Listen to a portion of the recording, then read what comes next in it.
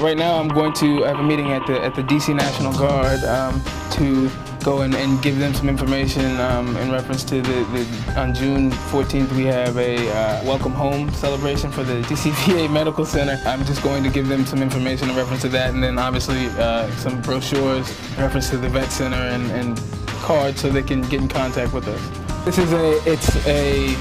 annual event. So we're trying to, you know, utilize the, the, the radio stations and the, and the media and then just mouth-to-mouth outreaching to to basically inform all of the veterans in the area that it's coming up and hopefully there will be a, a good attendance this year and, and, if so we can bring all of those those veterans into the, the VA medical system and, and um, get them the, the service that they that they've earned.